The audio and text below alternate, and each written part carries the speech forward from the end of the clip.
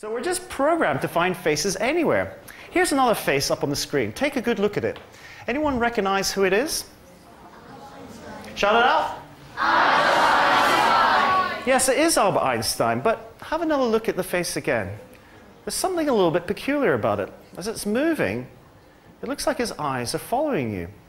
I'll tell you what, let's bring in Albert Einstein because I want to show you this effect a little bit more closely. Round of applause for Albert Einstein.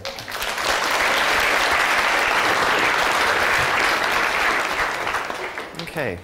Now, this is called the hollow face illusion, and it was discovered by uh, another Christmas lecturer, Richard Gregory. Now, the thing about faces, they usually point out the way. We don't often see faces, as in the case like a mask, pointing in the way. Now, when you see the inside of the mask, your face just assumes, your brain just assumes that it's a face pointing out the way. And that's why you get this strange effect, because the eyes appear to rotate in the opposite direction. You don't have a model for an inverted face in your, in your brain.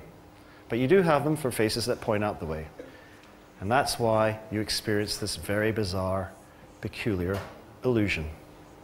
So I think it's a big round of applause for Albert Einstein.